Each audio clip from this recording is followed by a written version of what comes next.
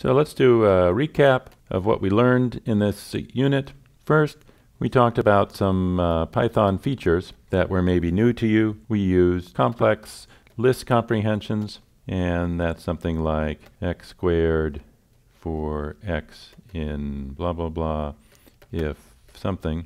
We showed generator expressions, and that's similar, but with uh, parentheses. We talked about generator functions, or just generators, and you recognize those with the uh, yield statement. We talked about the idea of handling different types, and this has the uh, fancy name of polymorphism, meaning different forms.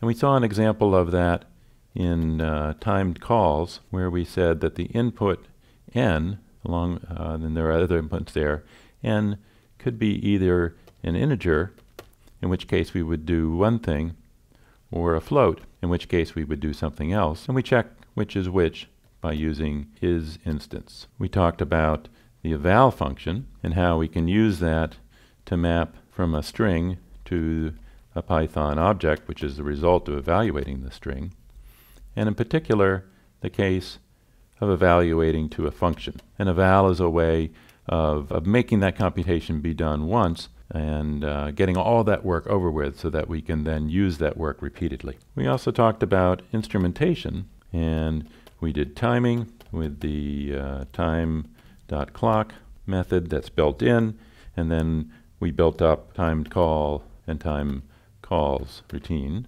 and we talked about counting number of invocations of functions or assignment statements or whatever and there we came up with our own routine that we called C. Now I guess I should say a little bit about variable naming conventions. Why did I use a uh, short name like C here, whereas other places I had mo longer, more expressive names? And I guess the reason is C was used only for debugging purposes. It wasn't intended to be part of the final part of the program.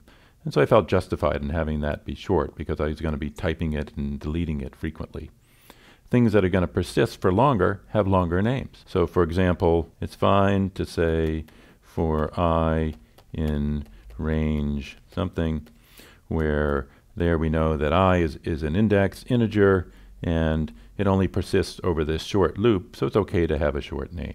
If something lasts longer, we probably want it to have a longer, more descriptive name.